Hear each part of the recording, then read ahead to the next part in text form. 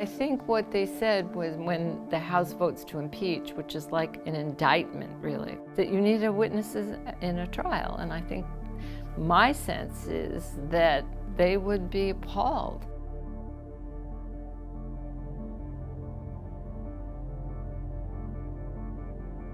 We wanted uh, people to know that there were those citizens who are interested in history, but more than that, understand this is a really important historical moment.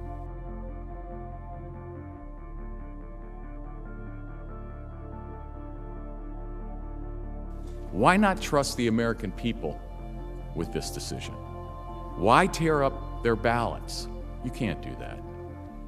You know you can't do that. I do think that's a fallacious argument. I don't buy that argument because in this case, for example, which is a good example, if Donald Trump were removed from office, Vice President Mike Pence would take on the oath of office and enter the White House. It's still, it's not an overturned election at all. It's just a passing of power because somebody was proven to be a rogue or in some way, or a rascal.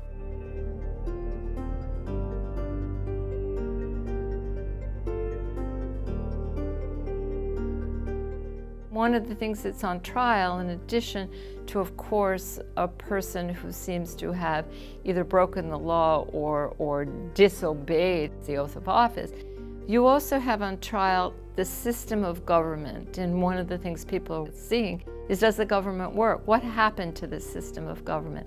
How has it worked in the past? And they looked at that in 1868. We said, an impeachment, we've never had an impeachment. We never had a civil war.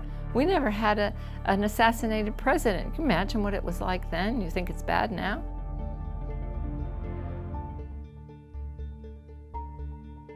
Johnson, did you try to hinder laws that were that that gave people, especially the four million uh, four million enslaved, um, gave them citizenship, civil rights? You know, just for starters. Never mind political rights. So Congress didn't want to impeach him right away. And I think that's a parallel with today because Speaker Pelosi did not want to impeach Donald Trump.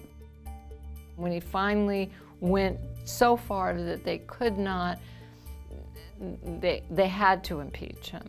I think there's a parallel today because there was a sense in which we're not talking about Donald Trump's policies, we're talking about a, a, a violation uh, or an abuse of power and use of the executive office for one's own personal benefit. You have to stop that.